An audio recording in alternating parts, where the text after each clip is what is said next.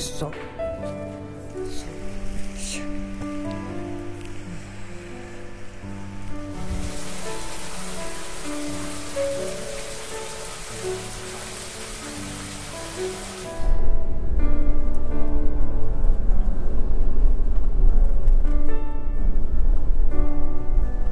今回はサワンド第3駐車第2駐車場か。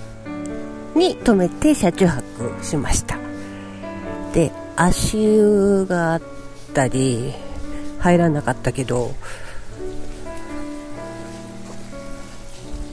これ足湯すごいよね。足湯があったりトイレもね24時間空いてるんでトイレね。水洗でねまあまあ綺麗ですよ。でこれからマイカーで行けないので第2駐車場に止めるとバス停がやっぱちょっと遠い遠いっつっても5分ぐらい 5分ぐらい歩くみたいです。かなまずバスの時間。調べないとちょっと。まあ出てるでしょ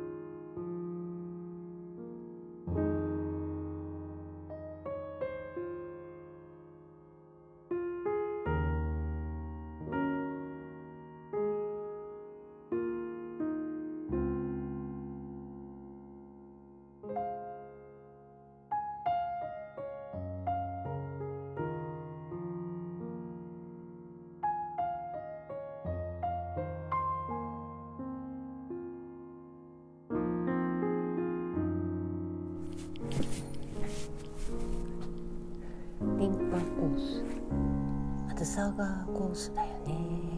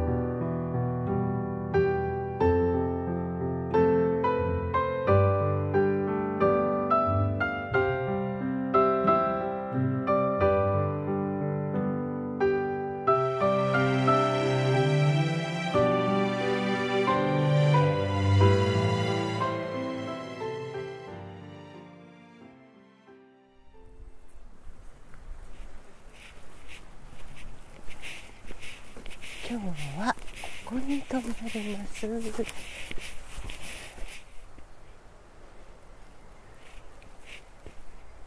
目の前が